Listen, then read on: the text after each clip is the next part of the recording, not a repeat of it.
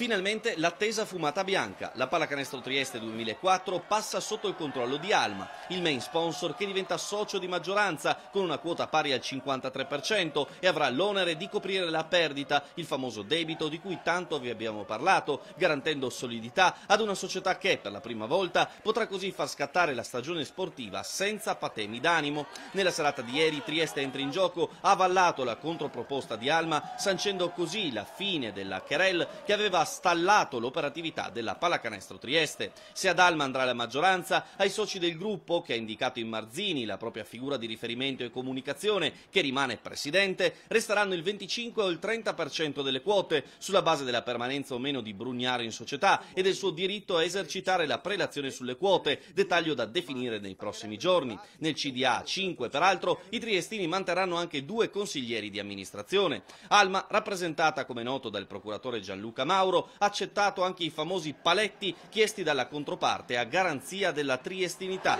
In primis, il socio di maggioranza si impegna a non vendere il titolo sportivo e a non spostare la società fuori da Trieste senza il consenso di Trieste entra in gioco e garantisce che, qualora lo sponsor dovesse, passateci il termine, stancarsi del suo ruolo nella compagine societaria, di lasciare la categoria sportiva a Trieste entra in gioco, garantendo il titolo sportivo nella seconda serie nazionale, quella attuale. Tutta l'operazione dovrebbe essere sancita con un brindisi collettivo che bagnerà la conferenza stampa preannunciata per lunedì, dove peraltro verrà anche presentata la nuova guardia americana con cui Mario Ghiacci ha già trovato l'intesa. Vicinissima anche la firma di un pivot italiano di alto livello, anche se, visto il cambio al vertice della Pallacanestro Trieste, proprietà e staff tecnico dovranno vedersi, confrontarsi a quattro occhi e condividere le strategie per il futuro. Nel medio termine, infatti, gli obiettivi sono ambiziosi, pur tenendo fermo il caposaldo del lavoro lavoro con i giovani del vivaio.